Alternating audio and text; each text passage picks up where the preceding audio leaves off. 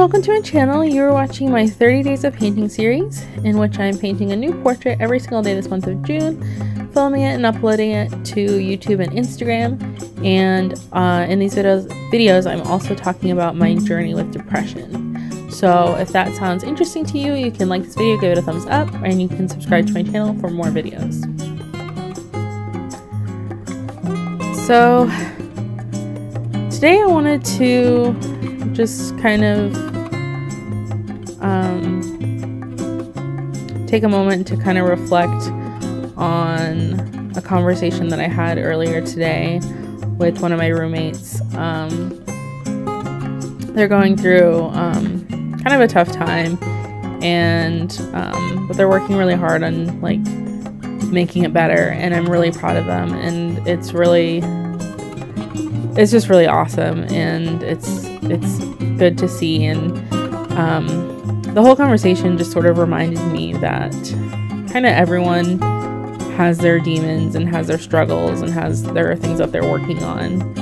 And you know we're kind of all in it together. Like even when we feel alone like there's other people out there who are struggling with the same things or you know similar issues. And um, I don't know. I kind of find that a little bit comforting because it means that, you know, other people have felt this, they've survived it, they have found ways around it, there's hope out there. And it's just kind of nice to know that you're not alone. And that's actually something that um, is a part of self compassion is that if you can find a way to be compassionate towards other people and and um, you know show kindness in the face of their struggles and their um, shortcomings then you have that script already and you can just kind of turn around and say it to yourself. And that's something that again i really need to practice um, self-compassion. It's not something that comes easy to me. Um, it's much easier to be my worst critic and to beat myself up.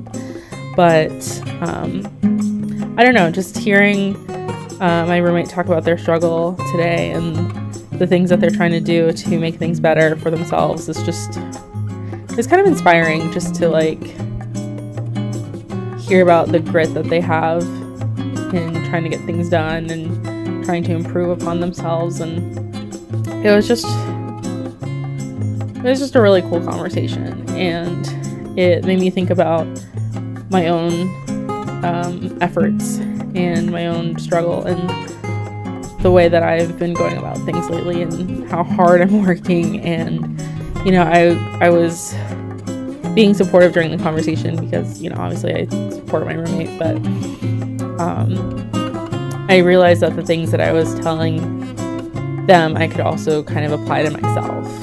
Where, you know, you can take pride in the small accomplishments and you can give yourself credit for trying and you can, you know, set goals and try to be realistic in them and not beat yourself up for not being perfect and just sort of find your own way through things. And I don't know, it was just really, really important to me to be reminded of that today. And I'm really thankful for all the people in my life. I know I talk about this all the time, but it really is a game changer for me to be surrounded by such awesome individuals and um, you know I, I have my family and then i have my friend family too and it's just i'm very blessed to have both and i really um, I'm really feeling that today, and I just wanted to share that. Yeah, I just wanted to share my gratitude. I just, I found that if you have the space in your body to be grateful for things, there's not a lot of room to feel negatively. And that sounds kind of cheesy now that I say it out loud, but um, I don't know, just trying to appreciate things that are around me and be present has really helped in the past. Um, and it's something that I need to continue practicing and working on. But I don't know. I think gratitude is really, really important. And I just wanted to kind of share that today and sort of talk about it out loud to myself and sort of think about it and um, be able to hold on to that feeling and kind of carry it with me. So that's what I've got for today. Um, thank you for listening and watching. Uh, if you like this video, you can give it a thumbs up. If you want to see more, you can subscribe to my channel. And um, yeah, just let me know what you're grateful for today in the comments. That would be really cool. Um, it's just a nice little exercise to reflect on gratitude, and I invite you to do it with me. So, yeah, thanks for watching. And until my next video, uh, be cute, be kind, love Bandit.